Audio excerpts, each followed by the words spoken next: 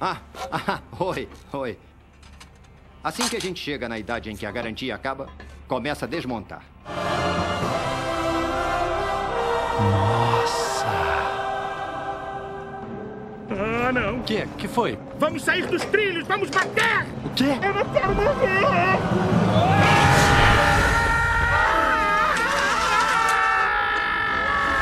Uh, as coisas ficam caindo de mim.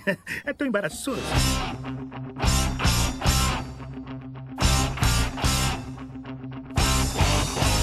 Peças novas, pessoal. Peças novas. É assim que fazemos dinheiro. Se dissermos aos robôs que não importa do que sejam feitos, eles estão bem. Como podemos esperar que eles se sintam ultrapassados para comprar peças novas e terem uma aparência com certeza superior? Portanto, senhores, eu inventei um novo slogan.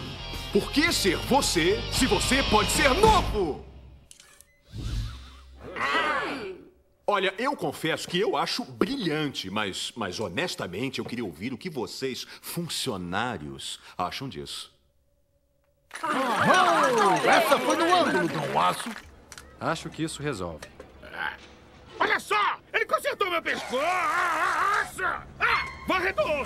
Varredor? Vamos sair fora!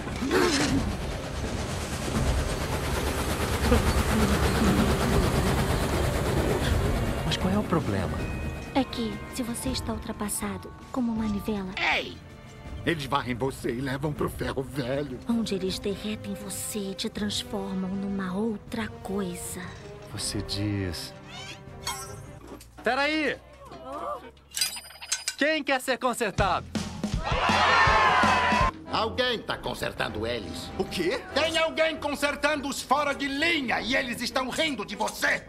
Quem? Eu sou Lataria, Rodney Lataria. Garoto, se vai lutar, eu vou lutar com você. O senhor vai? Filho, quem é a dona daquele popozão? Mas por quê? Eu sei lá, eu sou um cara grande, gosto de mulheres com não, grandes. não, por que vai ajudar a gente? Ah, porque quando crescer eu quero ser como você. Ao trabalho! Anda, galera, vamos dar ao Dom Aço uma surra à moda antiga. Robôs.